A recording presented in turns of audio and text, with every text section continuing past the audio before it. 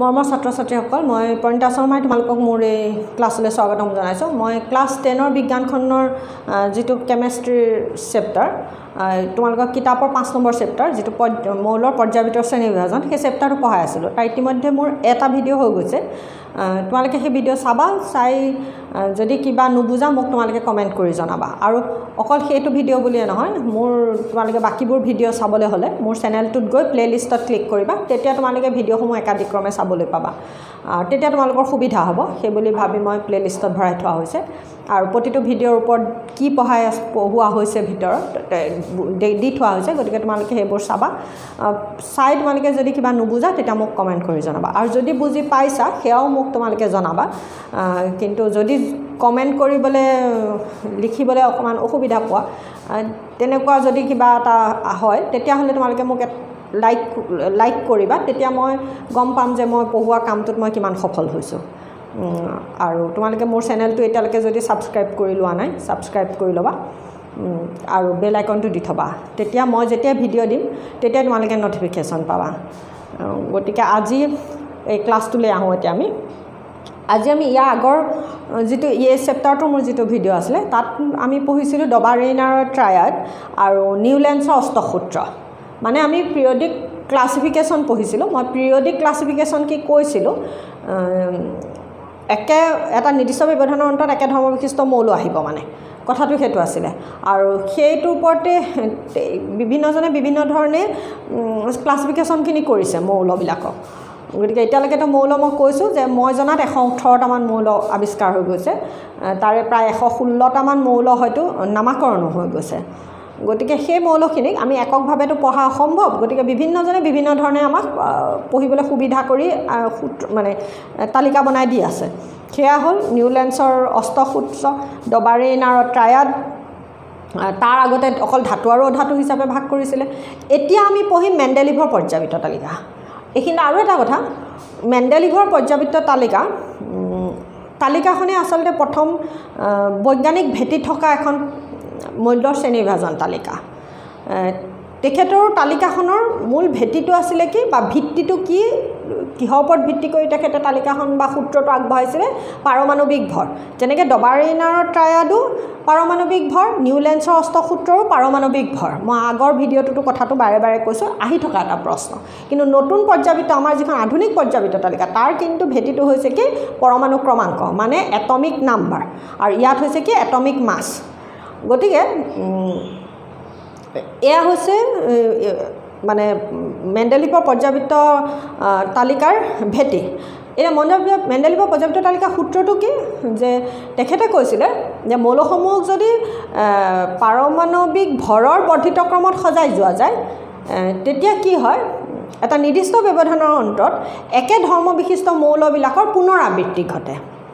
এটা নিৰ্দিষ্ট ব্যৱধানৰ অন্তত একে ধৰ্ম বিশিষ্ট মৌলবিলাকৰ পুনৰাবৃত্তি ঘটে। কেতিয়া যেতিয়া মৌলসমূহক এটা পাৰমাণৱিক ভৰৰ বৰ্ধিত ক্ৰমত সজাই গৈ থকা যায় এটা নিৰ্দিষ্ট ব্যৱধানৰ অন্তত তেওঁ একেধৰণৰ মৌলখিনিৰ পুনৰাবৃত্তি ঘটে বুলি কৈছিলে। সেইটো হ'ল মেণ্ডেলিভৰ পৰ্যাবৃত্ত সূত্ৰ।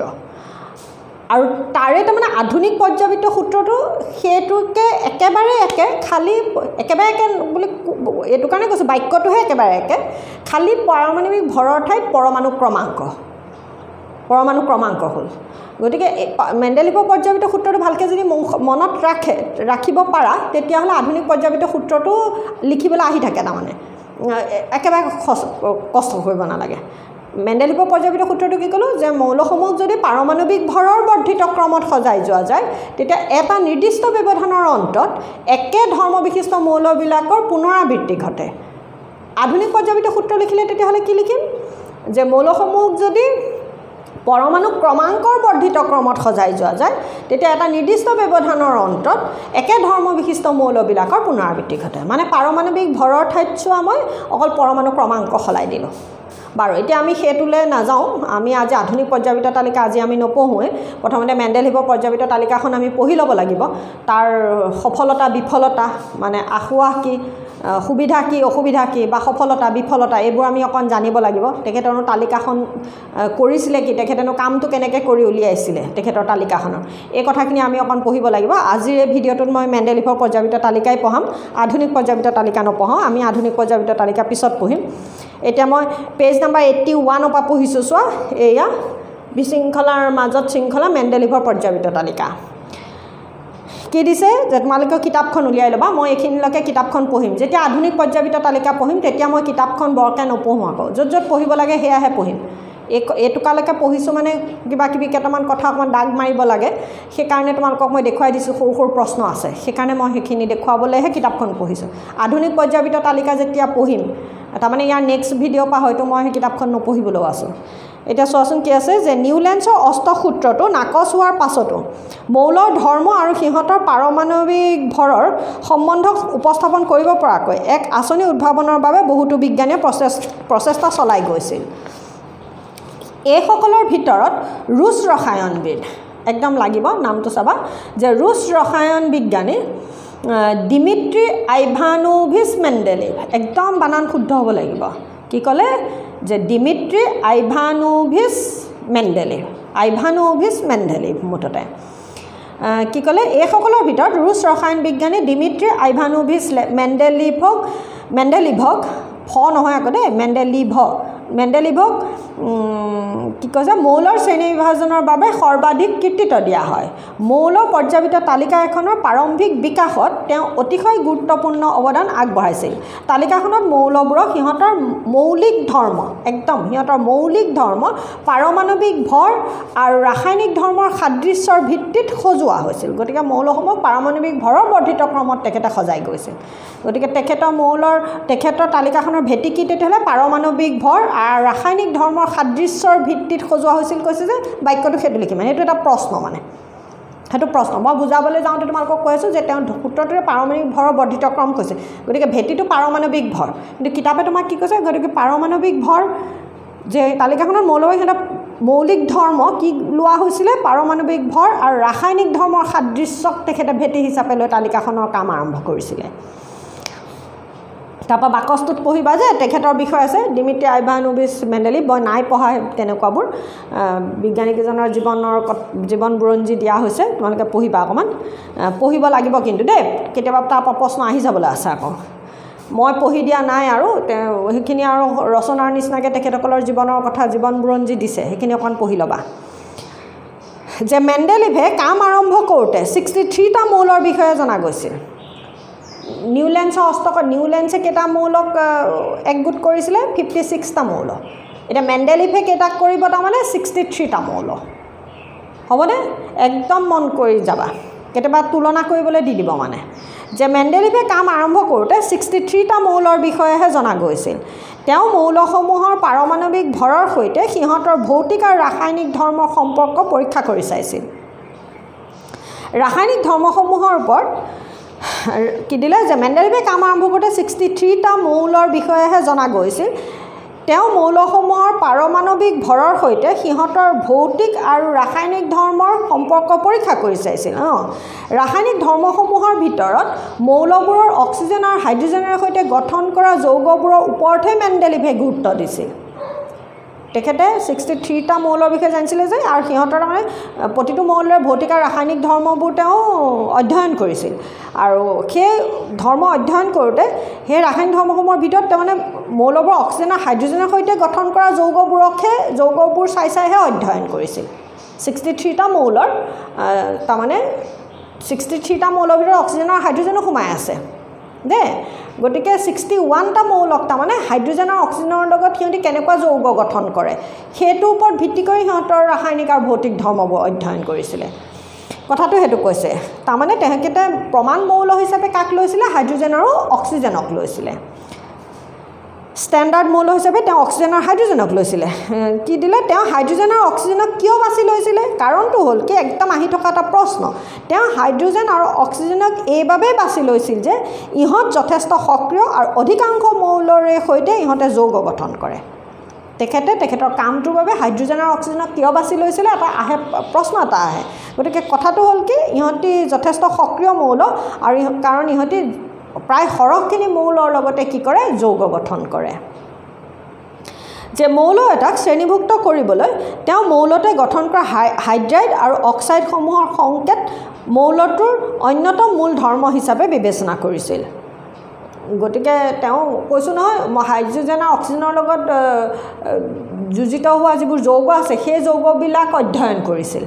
গতিকে সেইবোৰ অধ্যয়ন কৰোঁতেই তাৰমানে সিহঁতৰ অক্সিজেনৰ লগত যুঁজিত হ'লে যৌগটোক অক্সাইড যৌগ বুলি কয় হাইড্ৰজেনৰ লগত যিটো যৌগ গঠন হয় সেইটোক হাইড্ৰাইড যৌগ বুলি কয়।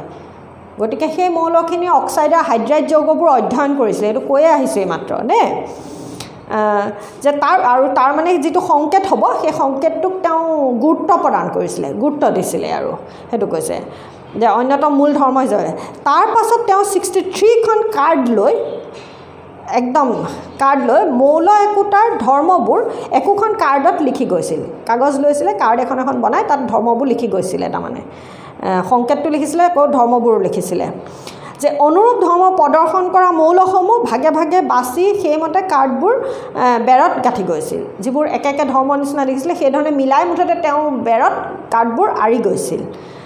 তেওঁ লক্ষ্য কৰিছিল যে মৌলবোৰৰ অধিকাংশই পৰ্যাপিত তালিকা এখন এখনত ঠাই পাইছিল আৰু সিহঁতক পাৰমাণৱিক ভৰৰ বৰ্ধিত ক্ৰমত সজ্জিত হৈছিল। এইটোও দেখা গৈছিল যে এটা নিৰ্দিষ্ট ব্যৱধানৰ অন্তৰত একেধৰণৰ ভৌতিক আৰু ৰাসায়নিক ধৰ্ম দেখুওৱা মৌলবোৰৰ পুনৰাবৃত্তি ঘটে। এইটোৱে সূত্ৰ আচলতে। সেইখিনিতে সেইটো সূত্ৰ মানে। যে মৌলসমূহক যদি পাৰমাণিক ভৰৰ বৰ্ধিত ক্ৰমত সজাই যোৱা যায় তেতিয়া মৌলসমূহৰ ভৌতিক আৰু ৰাসায়নিক ধৰ্ম এটা নিৰ্দিষ্ট ব্যৱধানৰ অন্তত পুনৰাবৃত্তি ঘটে। আৰু অৰ্থাৎ একে ধৰ্ম বিশিষ্ট মৌলবিলাকৰ পুনৰাবৃত্তি ঘটে। এইটো এই টুকা এই টুকা এটা মানে সেইটো সূত্ৰ মানে। ইয়াৰ ভিতৰত ইয়াৰ ওপৰত ভিত্তি কৰিয়ে মেণ্ডেলিপে এটা পৰ্যায়িত সূত্ৰ উৎপাদন কৰিছিল। সূত্ৰটো হ'ল মৌলবোৰৰ ধৰ্মবোৰ সিহঁতৰ পাৰমাণৱিক ভৰৰ পৰ্যায়ক্ৰমে সলনি হয়। এইটো দিছে বাক্য এইটোকে আমি এইটো একদম বল্ড কৰি দিয়া নাই ডাঠকৈ লিখা নাই। সাধাৰণ হেৰিৰে লিখা হৈছে।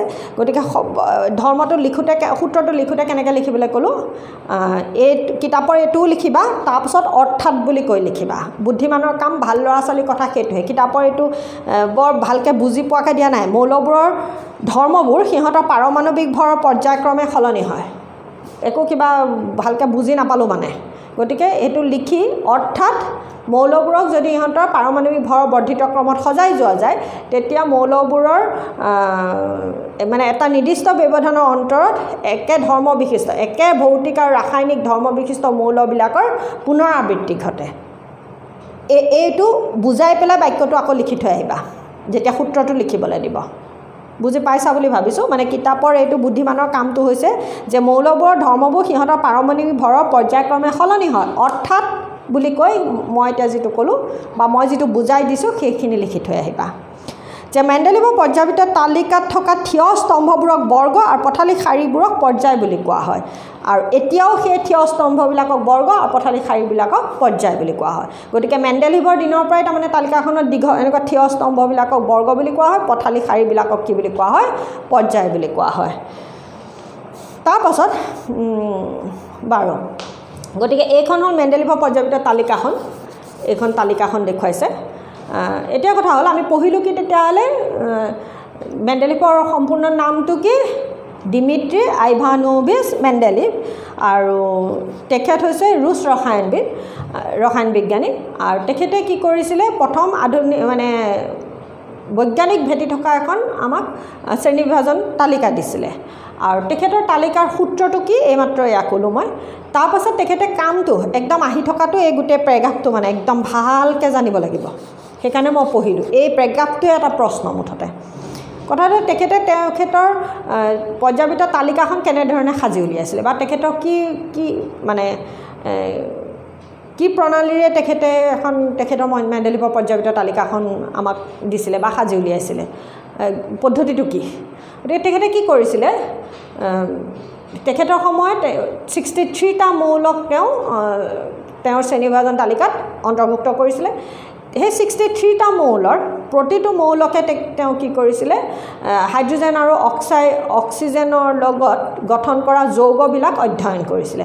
অৰ্থাৎ তেখেতে তেখেতৰ তালিকাখন প্ৰস্তুত কৰোঁতে হাইড্ৰজেন আৰু অক্সিজেনক প্ৰমাণ মৌল হিচাপে গণ্য কৰিছিলে। আৰু কাৰণ হাইড্ৰজেন আৰু অক্সিজেন অক্সিজেন দুটা হৈছে সক্ৰিয় মৌল ইহঁতি যিকোনো মৌলৰ লগতে কি কৰে সহজভাৱে সিহঁতি বিক্ৰিয়া কৰে। আৰু আৰু যৌগ গঠন কৰে। গতিকে বাকী মৌলসমূহৰ যিবোৰ অক্সাইড আৰু হাইড্ৰাইড যৌগ আছিলে সেই অক্সাইড আৰু হাইড্ৰাইড যৌগবোৰ অধ্যয়ন কৰিছিলে। কৰি ছিক্সটি থ্ৰীখন কাৰ্ডত তেওঁ সেই প্ৰতিটো মৌলৰে ধৰ্মবোৰ লিখি গৈছিলে। মানে প্ৰতিটো মৌলৰ কাৰণে একোখনকৈ কাৰ্ড প্ৰস্তুত কৰি উলিয়াইছিলে। আৰু সেই কাৰ্ডসমূহ তেখেতে কি কৰিছিলে? বেৰত আঁৰি গৈছিলে। আঁৰি যাওঁতে একে ধৰ্ম বিশিষ্ট মৌলখিনিক একেধৰণে ওচৰ চপাই সজাই পেলাইছিলে। আৰু তেতিয়া তেওঁ দেখা পাইছিলে যে মৌলসমূহৰ ধৰ্ম পাৰমাণৱিক ভৰৰ বৰ্ধিত ক্ৰমে বৰ্ধিত ক্ৰমত সজাই গ'লে পৰ্যায়ক্ৰমে সলনি হয়। এটা নিৰ্দিষ্ট ব্যৱধানৰ অন্তত একে ধৰ্ম বিশিষ্ট একে ৰাসায়নিক আৰু ভৌতিক ধৰ্ম বিশিষ্ট মৌলবিলাকৰ পুনৰাবৃত্তি ঘটে। আৰু তেতিয়াই তেওঁ সেই যে বেৰত আঁৰি গৈছিলে সেই ধৰণেই এখন তেওঁ তালিকা প্ৰস্তুত কৰিছিলে। আৰু সেয়াই হৈছে মেণ্ডেলিভৰ পৰ্যাবৃত্ত তালিকা। গতিকে এইখিনিকে তুমি তোমাৰ যিখিনি নিজে পঢ়ি বুজি পাইছা সেইখিনিকে লিখিবা কিতাপৰ পৰা বাক্যবোৰ মুখস্থ কৰি কৰি লিখি নাথাকিবা। মই এতিয়া যেনেকৈ বুজাওঁতে মইতো কিতাপৰ বাক্যকেইটা মুখস্থ কৰা নাই মই যিটো বুজিলোঁ বা তোমালোকক মই বুজাই দিলোঁ সেই কথাখিনি নিজৰ ভাষাৰে লিখিবা। আৰু এই কথাবোৰ কেনেকৈ লিখিবা কেনেকৈ লিখিবা এইবোৰ মই এতিয়া বাৰে বাৰে কৈ নাথাকোঁ কাৰণ সেইটোৰ ওপৰত মই উত্তৰ কেনেদৰে কৰিব লাগে লিখিব লাগে এটা মই ভিডিঅ' দি থৈছোঁ। সেই ভিডিঅ'টো তোমালোকে যি নাই চোৱা সেইটো চাবা। মই সেই ভিডিঅ'টো আগৰ মানে দি থোৱা আছে ইতিমধ্যে সেই ভিডিঅ'টো তোমালোকে চাবা। আৰু মই যদি হেৰি কৰিব পাৰোঁ মনত পৰে মোৰ তেতিয়া মই ডেছক্ৰিপশ্যন বক্সত এইটো দি দিম লিংকটো দি দিম সেইটো চাবা তোমালোকে। সদায় তোমালোকক মই উত্তৰ কেনেকৈ লিখিবাটো দেখুৱাই নাথাকোঁ আৰু সময় বহুত যায় তাৰমানে দেই। আৰু সেয়াই হৈছে তাৰমানে মেণ্ডেলিপৰ তালিকাখনৰ কথাটো হ'ল সেয়াই তাৰমানে। সেয়াই আৰু কেনেকৈ যেনে কেনেকেদৰে সাজি উলিয়াইছিলেতো সেয়াই। কেতিয়াবা চুটি প্ৰশ্ন হ'ব পাৰে যে মেণ্ডেলিভে পৰ্যাপিত তালিকাখনৰ সূত্ৰটো কিয় অকল আহিলে? বা মেণ্ডেলিভৰ কিয় মানে কোনকেইটা মৌলক প্ৰমাণ মৌল বা কাৰ লগত তুলনা কৰিছিলে? বা তেখেতৰ তালিকাখনৰ ভেটিটো কি? ভেটিটো কি ক'লোঁ? পাৰমাণৱিক ভৰ। আৰু মৌলৰ ৰাসায়নিক ধৰ্ম ক'লে। ৰাসায়নিক ধৰ্মৰ ওপৰতে তেখেতে গুৰুত্ব আৰোপ কৰিছিলে আৰু পাৰমাণৱিক ভৰৰ ওপৰত গুৰুত্ব আৰোপ কৰিছিলে। তাৰপাছত আহিলে যে তেখেতে হাইড্ৰজেন আৰু অক্সিজেনকে কিয় বাছি লৈছিলে? হাইড্ৰজেন আৰু অক্সিজেন দুটা সক্ৰিয় মৌল আৰু ইহঁতি সহজে আন মৌলৰ লগত যুঁজিত হৈ যৌগ গঠন কৰে। অক্সাইড আৰু হাইড্ৰাইড যৌগ গঠন কৰে। গতিকে এইটো কাৰণৰ বাবে তেখেতে কি লৈছিলে? অক্সিজেন আৰু হাইড্ৰজেনক প্ৰমাণ মৌল হিচাপে গ্ৰহণ কৰিছিলে। এতিয়া আহিছে যে এইখিনিতে বাকচটোতহে হালধীয়া টোকা পঢ়িছোঁ দেই মই হালধীয়া টোকা হাইলাইট কৰি দিয়া হৈছে যে মেণ্ডেলিভৰ পৰ্যাপিত তালিকাখন জাৰ্মানীৰ এখন জাৰ্নেলত এইটিন ছেভেণ্টি টুত প্ৰকাশ পাইছিল। লাগিব এইটো আকৌ বাকচৰ ভিতৰত দিছে মানে হাইলাইট কৰি পেলাই দিছে কথাটো যে তালিকাখনৰ স্তম্ভবোৰৰ শীৰ্ষত দিয়া অক্সাইড আৰু হাইড্ৰাইডৰ সংকেতবোৰৰ আৰ আখৰে বৰ্গটোত থকা মৌল এটা সূচাইছে। এইয়া যিটো তোমাৰ আৰ আৰ যে তালিকাখনৰ কথা হৈছে সংকেতবোৰ লিখা পদ্ধতিটো মন কৰা। উদাহৰণ হিচাপে কাৰ্বন হাইড্ৰেট কাৰ্বন আৰু হাইড্ৰজেন দিছে। ইয়াক আৰ এইচ ফ'ৰ লিখিছে তাৰমানে চি এইচ ফ'ৰ নাই লিখা মানে। হিচাপে আৰু অক্সাইডক চি অ' টু নাই লিখা আৰ অ' টু হিচাপে লিখা হৈছে। বাৰু এইটো তালিকাখন যেতিয়া চাবা তোমালোকে অকণমান মন কৰিবা তালিকাখন। তাৰপাছত মেন এইবাৰ আহিছে মেণ্ডেলিপৰ পৰ্যাপিত তালিকাৰ সফলতাসমূহ। একদম। মেণ্ডেলিপৰ তালিকাখনৰ সফলতা কি আৰু বিফলতা কি? একদম আহি থকা দুটা প্ৰশ্ন। পঢ়িবলৈ গৈছোঁ দেই। একদম মন দি যাবা। বেছি মই দীঘলীয়া কৰি কৈ নাথাকোঁ। এক দুই তিনি চাৰিকৈ কৈ যাম। সেইমতে শুনি যাবা। মই বাৰে বাৰে একেটা কথা কৈ নাথাকোঁ আৰু এইবাৰ দেই। যে মেণ্ডেলিভে বেছি দীঘল হৈ গ'লে ভিডিঅ'টো তোমালোকৰ চাবলৈ অসুবিধা হৈ যায়। গতিকে মই একেটা কথা বাৰে বাৰে এতিয়া নকওঁ। এতিয়া এটা এটাকৈ কৈ যাম। এয়া হ'ল সফলতা। আকৌ বিফলতাটো আছেই পঢ়িবলৈ তাৰমানে। বহুত দীঘল হ'বগৈ নহ'লে। যে মেণ্ডেলিভে পৰ্যাপিত তালিকাখনত ঠাই বিশেষে বেছি পাৰমাণৱিক ভৰৰ মৌল একোটাক তাতকৈ সামান্য কম পাৰমাণৱিক ভৰৰ মৌল এটাতকৈ আগত ঠাই দিছিল।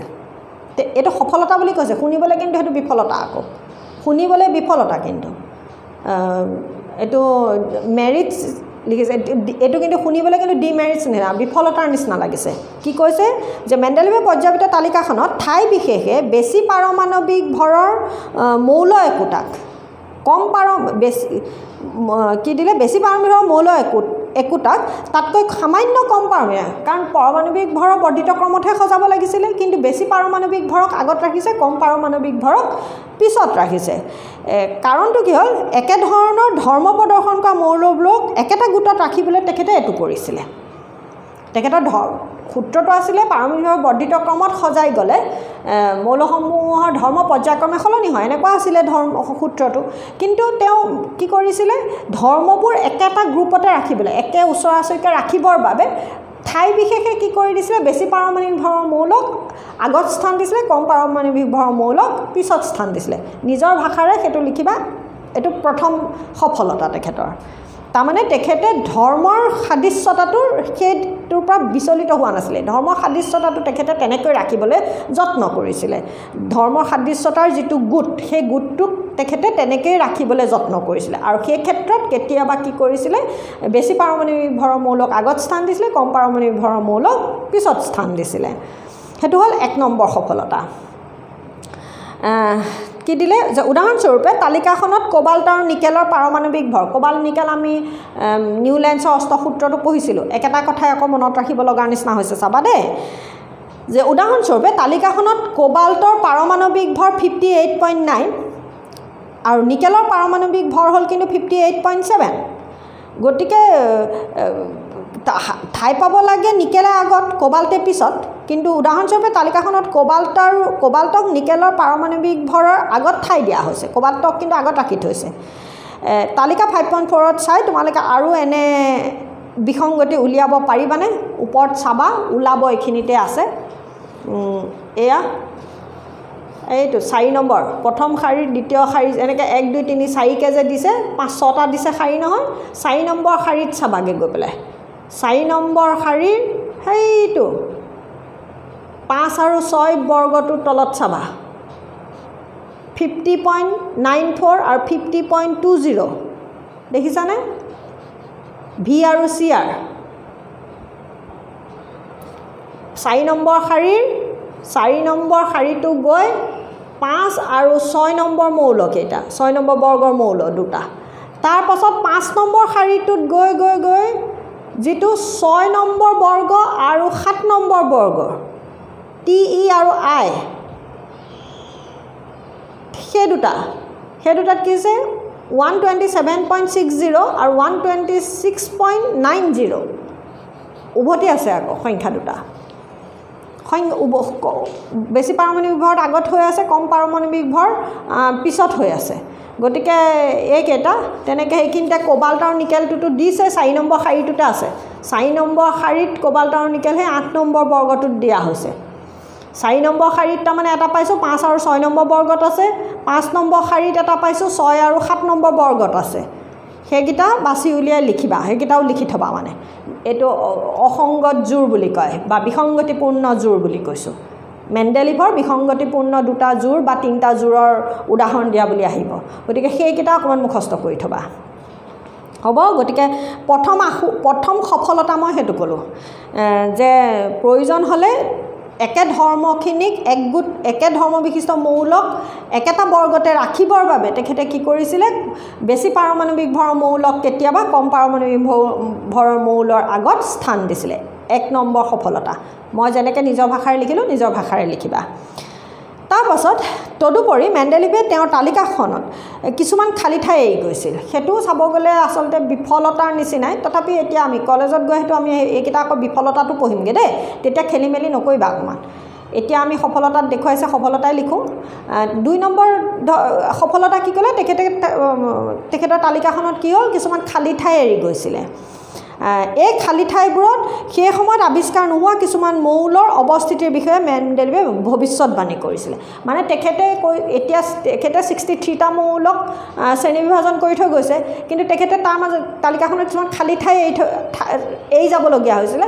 আৰু এৰি পেলাই যাওঁতে তেওঁ কি কৈছিলে যে এই খালী ঠাইবোৰ এটা সময়ত গৈ পূৰ হ'বগৈ কাৰণ ভৱিষ্যতেও আৰু মৌল আৱিষ্কাৰ হ'ব। কিন্তু নিউ লেন্সৰ কথা ক্ষেত্ৰত কি আছিলে? নিউ লেন্সে ফিফটি ছিক্সটা মৌলক শ্ৰেণীভুক্ত কৰিছিলে। কিন্তু তেখেতে কৈছিলে যে ভৱিষ্যতে আৰু মৌল আৱিষ্কাৰ নহয়। তেওঁ ডেফিনেট আছিলে আৰু আৱিষ্কাৰ নহয়। কিন্তু মেণ্ডেলিভে কৈছে যে খালী ঠাই এৰি থৈ গৈছে। ভৱিষ্যতে সেই মৌল যদি আৱিষ্কাৰ হয় তেতিয়া এই ঠাইবিলাক নিশ্চয় পূৰ হ'ব। এই ধৰণৰ তেখেতে মন্তব্য কৰিছিলে। গতিকে তেখেতৰ দুই নম্বৰ সফলতা হৈছে সেইটো। তেখেতে ভৱিষ্যতে আৱিষ্কাৰ হ'বলগীয়া মৌলখিনিৰ কাৰণে তেখেতৰ তালিকাখনত স্থান ৰাখি গৈছিলে খালী ঠাই এৰি গৈছিলে। এই ধৰণে নিজে বুজাই লিখিবা সেইটো হ'ল দুই নম্বৰ সফলতা। একেটা বৰ্গত থকা পূৰ্বৱৰ্তী মৌলটোৰ নামৰ আগত সংস্কৃত শব্দ একা যোগ কৰি মেণ্ডেলিভে এই মৌলবোৰৰ নামো দিছিলে। তেখেতে ভৱিষ্যতে তিনি নম্বৰ সফলতা কি? তেখেতে ভৱিষ্যতে আৱিষ্কৃত হ'বলগীয়া বা আৱিষ্কাৰ হ'বলগীয়া মৌলবিলাকৰ ভৱিষ্যতবাণী কৰাই নহয়। তেখেতে সেই নাম সেই মৌলবিলাকৰ নাম কেনেকুৱা হ'ব পাৰে তাৰো এটা ধাৰণা দি থৈ গৈছিলে। সেই ক্ষেত্ৰত তেখেতে কি ব্যৱহাৰ কৰিছিলে? একা শব্দ এটা ব্যৱহাৰ কৰিছিলে। একা শব্দ সংস্কৃত শব্দ এটা ব্যৱহাৰ কৰিছিলে। এইটো হ'ল তিনি নম্বৰ সফলতা। তিনি নম্বৰ কৰি লিখিবা। মানে ভৱিষ্যতে আৱিষ্কাৰ হ'বলগীয়া মৌলবিলাকৰ নামো তেখেতে কি কৰিছিলে ঠিক কৰি থৈ গৈছিলে।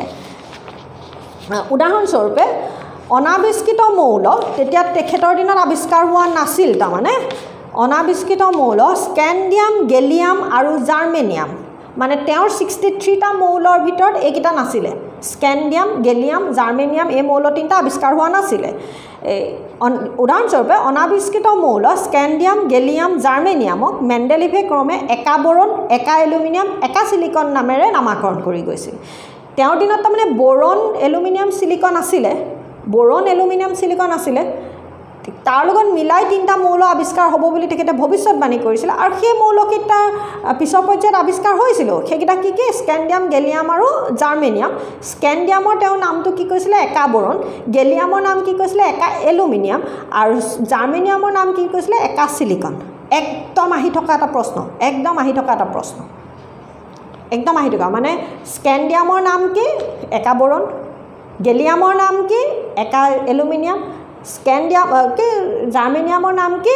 একা চিলিকন গতিকে জাৰ্মেনিয়ামৰ নাম কি? একা চিলিকন একা বৰণ কি আছিলে? স্কেণ্ডিয়াম একা এলুমিনিয়াম কি আছিলে? গেলিয়াম একদম মুখস্থ হৈ যাব লাগিব। জাৰ্মেনিয়ামৰ নামটো কি আছিলে? একা চিলিকন তাৰপাছত গেলিয়ামৰ নামটো কি আছিলে? একা এলুমিনিয়াম আৰু স্কেণ্ডিয়াম কি আছিলে? একা বৰণ।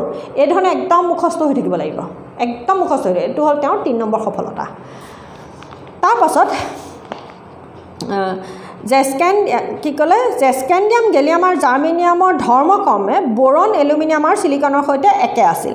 মেণ্ডেলিভে ভৱিষ্যতবাণী কৰা একা এলুমিনিয়ামৰ ধৰ্মসমূহ গেলিয়াম মৌলৰ ধৰ্মসমূহ তালিকা ইমানত দিয়া হৈছে। এইকেইটা চাবলৈ কৈছে দেই যে ই মেণ্ডেলিভৰ পৰ্যাপিত তালিকাখন যে শুদ্ধ আৰু ব্যৱহাৰ উপযোগী তাক নিশ্চিতভাৱে প্ৰমাণ কৰিছিল। তদুপৰি মেণ্ডেলিভৰ ভৱিষ্যতবাণীৰ অসাধাৰণ সাফল্যই তেওঁৰ তালিকাখন ৰসায়নবিদসকলৰ বাবে গ্ৰহণযোগ্য কৰাই নহয় ই তেওঁক এই ধাৰণাৰ উদ্ভাৱক হিচাপে স্বীকৃতি দিয়ালে। মানে কৈছোঁ বৈজ্ঞানিক ভেটি থকা এখন ধাৰ বৈজ্ঞানিক ভেটি থকা এখন শ্ৰেণীভাজন প্ৰথমতে কোনে দিছিলে? মেণ্ডেলিভে দিছিলে। যে হিলিয়াম নিয়ন আৰু আৰ্গনৰ দৰে সম্ভ্ৰান্ত গেছবোৰ অতিশয় নিষ্ক্ৰিয় আৰু আমাৰ বায়ুমণ্ডলত এইবোৰ নিচেই কম মাত্ৰাত থাকে বাবে এইবোৰ আৱিষ্কৃত হওঁতে বহু পলম হৈ গৈছিল। যেতিয়া আৱিষ্কৃত হ'ল তেতিয়া সিহঁতক তালিকাখনত ইতিপূৰ্বে থকা ক্ৰমৰ কোনো সাল সলনি নকৰাকৈ এটা নতুন বৰ্গত সংস্থাপিত কৰিব পৰা গৈছিল। ই তালিকাখনৰ এটা অন্যতম সাফল্য। একদম মুঠতে লাগিব আৰু। একেবাৰে লাগিব মুঠতে। এইটো এইবাৰ কি ক'লে? যে তেওঁৰ সময়ত তাৰমানে এই নিষ্ক্ৰিয় গেছবোৰ হিলিয়াম নিয়ন আৰ্গন এই ধৰণৰ নিষ্ক্ৰিয় গেছসমূহ আৱিষ্কাৰ হোৱা নাছিলে। কিন্তু যেতিয়া পিছৰ পৰ্যায়ত সেই মৌলসমূহ আৱিষ্কাৰ হ'ল তেতিয়া তেওঁৰ তালিকাখনত সেই মৌলখিনিও কোনো তালিকাখনৰ কোনো সাল সলনি নকৰাকৈ এটা নতুন বৰ্গত সিহঁতক কি কৰিব পৰা হ'ল? ভৰাব পৰা হ'ল। এইটো হ'ল তেওঁৰ তালিকাখনৰ বা তেওঁৰ সূত্ৰটোৰ বা তেওঁৰ তালিকাখনৰ এটা অন্যতম সাফল্য। গতিকে কেইটা পালোঁ আমি হেৰি সফলতা? প্ৰথমটো কি পালোঁ মই পূৰা পূৰা বাক্য নকওঁ আৰু দেই লিখিবা নিজে। বেছি পাৰমাণৱিক ভৰক কম পাৰমাণৱিক ভৰৰ আগত ঠাই দিছিলে। কাৰণটো হ'ল কি একে ধৰ্মবিশিষ্ট মৌলবিলাকক একেটা বৰ্গত ৰাখিবলৈ তেখেতে এই কামটো কৰিছিলে। দুই নম্বৰ সফলতাই তেওঁ তালিকাখনত কিছুমান খালী ঠাই থৈ গৈছিলে। আৰু কৈছিলে যে ভৱিষ্যতে যেতিয়া মৌল আৱিষ্কাৰ হ'ব এই খালী ঠাইবোৰ পূৰ হৈ যাব। মুঠৰ ওপৰত ভৱিষ্যতে আৱিষ্কাৰ হ'বলগীয়া মৌলবিলাকৰ বাবে তেওঁ তালিকাখনত তেওঁ খালী ঠাই এৰি গৈছিল তিনি নম্বৰ সফলতাটো কি যে তেওঁ ভৱিষ্যতে আৱিষ্কাৰ হ'বলগীয়া মৌলখিনিৰ নামাকৰণো কৰি গৈছিল। এই নামাকৰণত তেওঁ কি শব্দ ব্যৱহাৰ কৰিছিল? সংস্কৃত শব্দ একা ব্যৱহাৰ কৰিছিল। এই ক্ষেত্ৰত স্কেণ্ডিয়ামৰ বাবে তেওঁ কি নাম থৈছিল? একা বৰণ গেলিয়ামৰ বাবে কি নাম থৈছিল? একা এলুমিনিয়াম আৰু জাৰ্মেনিয়ামৰ বাবে তেওঁ নামটো কি কৰিছিলে? একা চিলিকন থৈছিলে। আৰু তাৰপাছত এই তিনিটা হ'ল।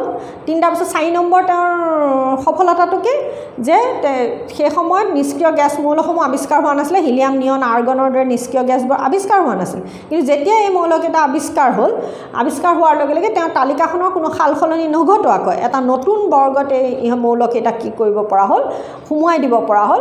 আৰু এইটোৱে হৈছে তেখেতৰ তালিকাৰ এটা অন্যতম সাফল্য এটা প্ৰধান সাফল্য মুঠতে। গতিকে এইকেইটা হ'ল তেখেতৰ তালিকাৰ সফলতা। তেখেতৰ মানে মেণ্ডেলিভৰ পৰ্যাপিত তালিকাৰ সফলতা এই চাৰিটা। হ'লনে? তাৰপাছত আহিলে মেণ্ডেলিভৰ শ্ৰেণী বিভাজনৰ সীমাবদ্ধতা। যে হাইড্ৰজেনৰ ইলেক্ট্ৰনীয় বিন্যাসৰ বিন্যাস খাৰ ধাতুবোৰৰ লগত মিলে। আমি খাৰ ধাতু কি পঢ়িম? খাৰ ধাতু খাৰ মৃত্তিকা কি পঢ়িম? মানে এক নম্বৰ বৰ্গটো ধাতুকেইটা খাৰ ধাতু। যে হাইড্ৰজেনৰ ইলেক্ট্ৰনীয় বিন্যাস খাৰ ধাতুবোৰৰ লগত মিলে। মানে ইহঁতৰ ইলেক্ট্ৰনীয় বিন্যাসটোৰ শেষৰ যিটো যোজক কক্ষ থাকে যিটো ভেলেঞ্চ অৰ্বিট থাকে শেষৰ যিটো আউটাৰ মষ্ট অৰ্বিটত কি থাকে? এক ওৱান এটাকৈ ইলেক্ট্ৰন থাকে। সেইটো হ'ল হাইড্ৰজেনৰ ইলেক্ট্ৰনীয় বিন্যাস খাৰ ধাতুৰ লগত মিলে তাৰমানে। যে উদাহৰণত দেখুওৱাৰ দৰে খাৰ ধাতুবোৰৰ নিচিনাকৈ হাইড্ৰজেনে হেল'জেন অক্সিজেন আৰু ছালফাৰৰ সৈতে লগ হৈ অনুৰূপ সংকেতৰ যৌগ গঠন কৰে। আনহাতেদি হেল'জেনৰ দৰে হাইড্ৰজেনো দ্বি পাৰমাণৱিক অণু হিচাপে থাকে আৰু ই ধাতু আৰু অধাতুৰ সৈতে লগ হৈ সহযোজী যৌগ গঠন কৰে। মানে এইটো হাইড্ৰজেনৰ কথা কৈ আছে দেই। যে হাইড্ৰজেনটো খাৰ ধাতুৰ লগত একে আৰু ইহঁতি হাইড্ৰজেন আৰু মানে অক্সি কি কৰে হেল'জেন অক্সিজেন আৰু ছালফাৰৰ সৈতে লগ হৈও আকৌ সেই খাৰ ধাতুকেইটাই যেনেকৈ যৌগ গঠন কৰে তেনেকৈয়ে যৌগ গঠন কৰে আৰু ইহঁতি হেল'জেনৰ নিচিনাকৈ দ্বি পাৰমাণৱিক অণু হিচাপে থাকে মানে এইচ টু হিচাপে থাকে। দ্বি পাৰমাণৱিক অণু এইবোৰ নাইনত পঢ়িছিলে আগতে এটমিচিটি পাৰমাণৱিকতা যৌগ গঠন কৰে। যে পৰ্যাপিত তালিকাত হাইড্ৰজেনক নিশ্চিতভাৱে কোনো নিৰ্দিষ্ট স্থান দিব মুঠৰ ওপৰত আগৰখিনি হ'ল কথা সীমাবদ্ধতাটো হৈছে কি? কি দিলে? কাৰ্যকলাপ যে পৰ্যাপিত তালিকাত হেল'জেনক নিশ্চিতভাৱে কোনো নিৰ্দিষ্ট স্থান দিব পৰা নাযায়। এইটো মেণ্ডেলিভৰ পৰ্যাপিত তালিকাখনৰ এটা মুখ্য সীমাবদ্ধতা আছিল। কথাটো লিখোঁতে কি বুলি লিখিম? হাইড্ৰজেন হৈছে এটা সক্ৰিয় অধাতু মৌল অধাতৱ মৌল। কিন্তু এই হাইড্ৰজেনক কি কৰা হৈছে? তালিকাখনৰ যিকেইটা খাৰ ধাতু সেই খাৰ ধাতুকেইটাৰ বৰ্গটোত ৰখা হৈছে। কাৰণ সি যিহেতুকে ই এটা সক্ৰিয় অধাতু কিন্তু তাক কেৱল ইলেক্ট্ৰনীয় বিন্যাস একে বুলি দেখুৱাই আৰু একেধৰণৰ যৌগ গঠন কৰে বুলি দেখুৱাই তাক ক'ত ৰখা হৈছে? সক্ৰিয় খাৰ ধাতুকেইটাৰ লগত ধাতু মৌলকেইটাৰ লগত ৰখা হৈছে। এইটো হৈছে এই তালিকাখনৰ এটা সীমাবদ্ধতা। কিন্তু এই সীমাবদ্ধতাটো আমাৰ এতিয়া আধুনিক পৰ্যাপিত তালিকাখনতো আছে এতিয়ালৈকে সেইটো শুদ্ধ হোৱা নাই তাৰমানে। যে তেওঁ তেওঁৰ তালিকাখনত হাইড্ৰজেনৰ বাবে এটা সঠিক স্থান নিৰূপণ কৰিব পৰা নাছিল। গতিকে লিখোঁতে মই লিখিম নিজে ধুনীয়াকৈ যে হাইড্ৰজেন অধাতু কিন্তু ইয়াক সক্ৰিয় খাৰ ধাতুকেইটাৰ লগত এক নম্বৰ বৰ্গত স্থান দিয়া হৈছে ধাতুৰ লগত ৰখা হৈছে। কিন্তু তাৰ স্থান সি আচলতে অধাতুহে। হ'লনে? যে মেন আৰু কিয় ৰাখিছে যদি বুলি আহে তেতিয়া সেই ওপৰৰখিনি মানে ওপৰৰ কথাখিনি। যে ইহঁতৰ হাইড্ৰজেনৰ ইলেক্ট্ৰনীয় বিন্যাস খাৰ ধাতুৰ লগত একে বহিকক্ষত এটা ইলেক্ট্ৰন থাকে। দুই নম্বৰ কথাটো হ'ল যে হাইড্ৰজেন মানে হাইড্ৰজেনে যেনেকৈ ধাতুকেইটাই হাইড্ৰজেন হেল'জেন অক্সিজেনৰ লগত যৌগ গঠন কৰে হাইড্ৰজেনেও তেনেধৰণে সিহঁতৰ লগত যৌগ গঠন কৰে। আকৌ হাইড্ৰজেনৰ আকৌ আনহাতেদি আকৌ কি হ'ল হেল'জেনে যেনেকৈ অধাটোৱে তাৰমানে যেনেকৈ মানে ফ্ল'ৰিন ক্ল'ৰিন ব্ৰমিনে অধাতুবিলাকে যেনেকৈ দ্বি পাৰমাণৱিক অনুগঠন কৰে হাইড্ৰজেনেও কিন্তু আকৌ সেই অধাতুৰ নিচিনা দ্বি পাৰমাণৱিক অনুগঠন কৰে। মানে মানে হাইড্ৰজেনে অধাতুৰ ধৰ্মও দেখুৱাই ধাতুৰ ধৰ্মও দেখুৱাই নিচিনা হৈ আছে কথাটো। আৰু যাৰ বাবে কিন্তু মেণ্ডেলিফে আকৌ সেই ধাতুটোক মানে হাইড্ৰজেনক অধাতুৰ লগত নাই ৰখাগৈ ৰাখিছেহি কাৰ লগত? খাৰ ধাতুকেইটাৰ লগত। কাৰণটো কি? কাৰণ তাৰ বহিকক্ষত এটা ইলেক্ট্ৰন থাকে। আৰু সি ধাতুৰ নিচিনা কিছুমান ধৰ্ম প্ৰদৰ্শন কৰে। আৰু সি যেতিয়া আয়নিত হ'বলগীয়া হয় সি কেটায়ন উৎপন্ন কৰে ধনাত্মক আয়ন উৎপন্ন কৰে। সক্ৰিয় ধাতুকেইটাৰ নিচিনাকৈ কেটায়ন উৎপন্ন কৰে। এইটো এটা প্ৰধান কাৰণ যাৰ বাবে তাক হাইড্ৰজেনক ক'ত ৰখা হৈছে এক নম্বৰ বৰ্গত। মানে এইটো ইয়াত বুলি নহয় হেৰিটো লিখিব লাগিব। দেই যে মেণ্ডেলিভে এক নম্বৰ আখোৱা এক নম্বৰ সীমাবদ্ধতা ক'লোঁ। আখোৱা কৈছোঁ মানে সেয়া সীমাবদ্ধতা। দেই লিমিটেশ্যনছ ডিমেৰিটছ যি নকয় মানে। যে মেণ্ডেলিভে মেণ্ডেলিভে মৌলৰ পৰ্যাপিত শ্ৰেণীবিভাজন কৰাৰ বহু পাছত সমস্থানিকসমূহ আৱিষ্কাৰ হৈছিল। মৌল এটাৰ সমস্থানিকবোৰৰ ৰাসায়নিক ধৰ্মসমূহ একে হয় কিন্তু পাৰমাণৱিক ভৰসমূহ বেলেগ বেলেগ হয়। কাৰণ সমস্থানিক কি? সমস্থানিক পৰমাণু ক্ৰমাংক মানে প্ৰটনৰ সংখ্যা একে হয় কিন্তু নিউট্ৰনৰ সংখ্যা বেলেগ হোৱাৰ কাৰণে পাৰমাণৱিক ভৰ বেলেগ বেলেগ হয়। এটা মৌলৰ বিভিন্ন পৰমাণুত প্ৰটনৰ সংখ্যা একে থাকে যাৰ বাবে পৰ্যাপিত তালিকাত স্থান একে হ'ব লাগে। কিন্তু ভৰ বেলেগ বেলেগ মানে এতিয়াৰ পৰ্যাপিত তালিকাখনত একে হ'ব। কিন্তু মুঠৰ ওপৰত সমস্থানিক মানে কি যে পাৰমাণৱিক পৰমাণু ক্ৰমাংক একে থাকে প্ৰটনৰ সংখ্যা একে থাকে। কিন্তু নিউট্ৰনৰ সংখ্যা বেলেগ হোৱাৰ বাবে ভৰ সংখ্যা বেলেগ বেলেগ হয়। গতিকে এতিয়া কি হ'ল মেণ্ডেলিভে তেওঁৰ পৰ্যা মৌলৰ পৰ্যায়িত শ্ৰেণীবিভাজন কৰাৰ বহু পাছতহে সমস্থানিকসমূহ আৱিষ্কাৰ কৰা। হৈছে মৌলৰ এটা সমষ্টিবোৰৰ ৰাসায়নিক ধৰ্ম একে হয় কিন্তু পাৰমাণৱিক ভৰ সংখ্যা বেলেগ বেলেগ ভৰসমূহ বেলেগ বেলেগ হয়। এনেকৈ মৌলবোৰৰ সমস্থানিকবোৰো মেণ্ডেলিভৰ পৰ্যাবৃত্ত সূত্ৰৰ প্ৰতি এক প্ৰত্যাহ্বানৰ সৃষ্টি মানে সমস্থানিকবিলাকে তেওঁৰ তালিকাত ঠাই পোৱা নাছিল। সমস্থানিকবিলাকৰ বাবে তেখেতে তেখেতৰ তালিকাত কোনো স্থান নাছিল। আন এটা সমস্যা আছিল যে এটা মৌলৰ মানে চিধা চিধি বাক্য সেইটো আৰু। এইবোৰ সমস্থানিক আৱিষ্কাৰ হোৱা মানে কি হৈছে সমস্থানিকনো কি সেইবোৰ লিখি থাকিব নালাগে তাৰমানে। ভাল মানে যদি অলপ ভাল ৰিজাল্ট এটা আশা কৰোঁ তেতিয়াহ'লে অকণমান লিখিবা যে এটা মৌলৰ বিভিন্ন পৰমাণুত প্ৰটনৰ সংখ্যা একে থাকে কিন্তু ভৰ সংখ্যা যিহেতুকে বেলেগ বেলেগ হয় সেইবাবে তেখেতৰ তালিকাখনত সেই সমস্থানিকবিলাকে স্থান লাভ কৰা নাছিলে। কাৰণ তেওঁ ভৰৰ বৰ্ধিত ক্ৰমত সজায়ে থৈছিলে নহয়। গতিকে সমস্থানিকবিলাকৰ কাৰণে তেখেতৰ তালিকাত কোনো স্থান এৰি থৈ যোৱা নাছিলে। কথা হ'ল সেইটোৱে। আন এটা সমস্যা আছিল যে এটা মৌলৰ পৰা পাছৰটো মৌললৈ যাওঁতে পাৰমাণৱিক ভৰৰ বৃদ্ধি সুষমভাৱে নঘটে। যেনেকৈ প্ৰটনৰ সংখ্যা পৰমাণু ক্ৰমাংক এক দুই তিনি চাৰি এনেকৈ এনেকৈ যায় এক এককৈ বাঢ়ে। কিন্তু পাৰমাণৱিক ভৰ কিন্তু সুষমভাৱে নাবাঢ়ে তাৰমানে। সুষমভাৱে মানে এটা নিৰ্দিষ্ট ব্যৱধানত নাবাঢ়ে নাবাঢ়ে তাৰমানে। গতিকে আন এটা সমস্যা আছিল যে এটা মৌলৰ পৰা পাছৰটো মৌললৈ যাওঁতে পাৰমাণৱিক ভৰ ভৰৰ বৃদ্ধি সুষমভাৱে নঘটে। সেইবাবে দুটা মৌলৰ মাজত কিমানটা মৌল আৱিষ্কাৰ হ'ব পাৰে তাক পূৰ্বানুমান কৰাটো সম্ভৱ নহৈছিল।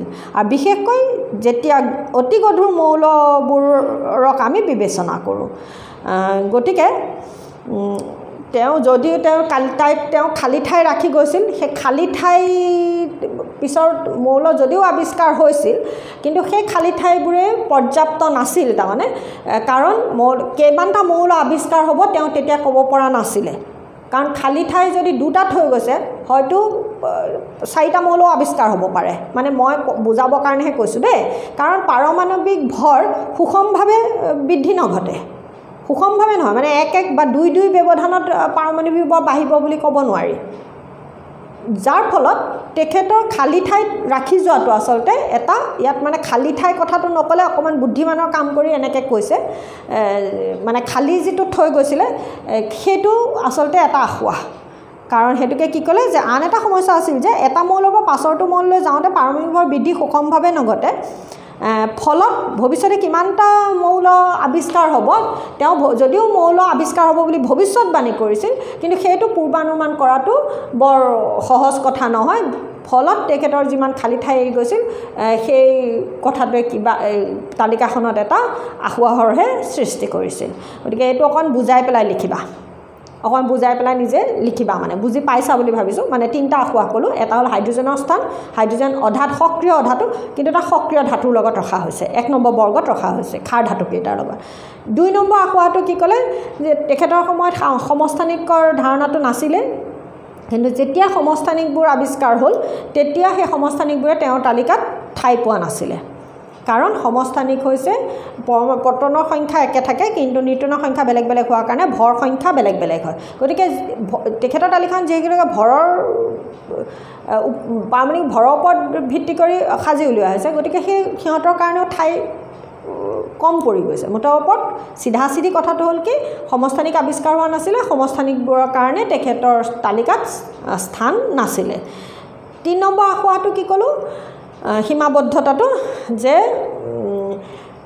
মানে পাৰমাণৱিক ভৰ সুষমভাৱে বৃদ্ধি নঘটে নহয়। গতিকে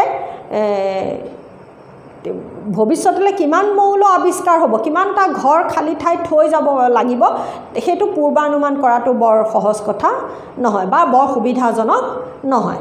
গতিকে সেইটো হ'ল তেখেতৰ তালিকাখনৰ এটা বিফলতা বা আসোঁৱাহ বা সীমাবদ্ধতা। হ'বনে? গতিকে এইখিনিয়ে ক'লোঁ এইখিনিকে আজি পঢ়িলোঁ। এইখিনিকে মানে আজি মই মেণ্ডেলিভ শেষ কৰিলোঁ। ইয়াৰ নেক্সট আমি আধুনিক পৰ্যাবৃত্ত তালিকা পঢ়িম। এয়া মেণ্ডেলিভৰ পৰ্যাবৃত্ত তালিকা কেনেকৈ সাজি উলিয়াইছিলে সূত্ৰ কি ভেটি কি? তেওঁৰ দিনত কেইটা মৌল তেওঁ শ্ৰেণীভুক্ত কৰিছিলে? বোলে ছিক্সটি থ্ৰীটা মৌল। তেওঁৰ সফলতা মই চাৰিটা ক'লোঁ বিফলতা মই তিনিটা ক'লোঁ। গতিকে এইখিনিয়ে হৈছে এই মেণ্ডেলিফৰ ওপৰত মোৰ ক'বলগীয়া কথা। গতিকে তোমালোকে অকণমান পঢ়ি চাবা কিতাপখন। মইতো পঢ়ি দিলোঁ নিজেও অকণমান পঢ়িবা। যি যি প্ৰশ্নখিনি কৈছোঁ সেইখিনি তোমালোকে বহীত ভালকৈ জুকিয়াই যাবা। তেতিয়াই নিশ্চয়কৈ এটা ভাল ফল তোমালোকে আশা কৰিব পাৰা। তাতকৈ বেছি আৰু কিবা প্ৰশ্ন আহিব বুলি মই ভবা নাই। মানে মই যিখিনি কৈ গ'লোঁ যিধৰণে প্ৰশ্ন আহে বুলি কৈছোঁ সেইধৰণেৰে প্ৰশ্ন আহে। আৰু বেলেগ প্ৰশ্ন নাহে। তাকে তোমালোকে অলপ খৰচীমে জুকিয়াই মইতো বাৰে বাৰে একেটা কথাকে কৈয়ে থাকোঁ।